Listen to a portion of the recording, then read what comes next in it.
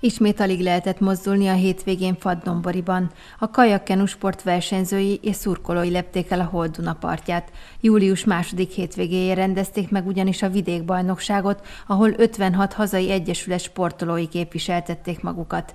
Ezzel párhuzamosan pedig Szolnokon tartották meg a Budapest és Pest megye bajnokságot.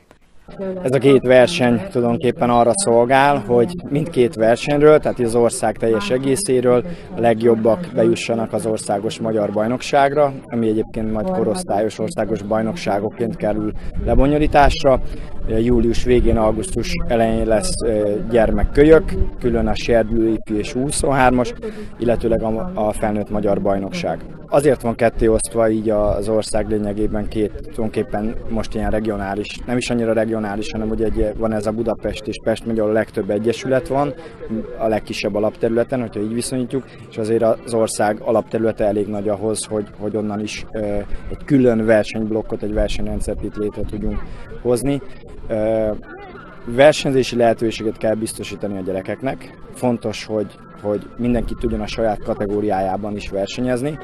Egy magyar bajnokságot, hogyha úgy rendeznénk meg, hogy egy szabad nevezéssel, hogy mindenki elinduljon, akkor ott egy közel egy hetes versenyt kéne rendezni, mert annyi induló van.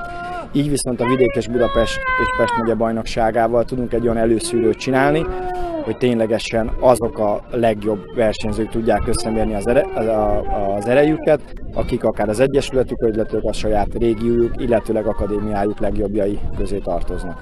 Háromnapos verseny úgy épül fel, hogy az első napon vannak az 500 méterek, ugye egy korosztályos lemontásban az 500 méter az lényegében a serdülőtől fölfelé biztosít versenyzési lehetőséget, Szombaton kapcsolódik be az 1000 méteres táv, ahol már a kölyök korosztályú versenyzők is versenyeznek, illetőleg vasárnap van a 2000 méteres hosszú táv, amiben képviseltetik magukat a serdülő, kölyök, és ott már bekapcsolódnak a gyermekkorosztályú versenyzők, és kiegészítő számként még van egy úgynevezett váltó versenysorozat, ahol háromszor, illetve 400, 4x200 méteres válton versengenek együtt egymás ellen a gyerekek. Az elmúlt időszakban elég sok versenyt hozott a Magyar Kajakkenu Szövetség Domboriba, ennek az okáról beszélt Faludi András, a Magyar Kajakkenu Szövetség Versenysport Bizottságának elnöke.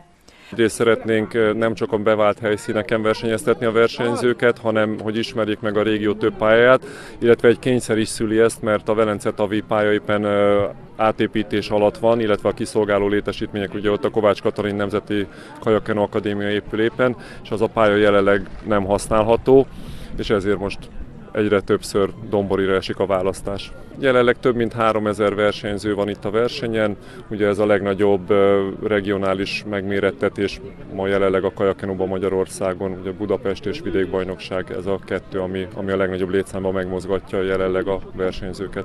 Tolna megye mindegyik klubja felsorakozott a bajnokságon, közülük a Szexárdi kajakkenu SS sportolói összesen négy aranyérmet, öt ezüstérmet és négy bronzérmet lapátoltak össze.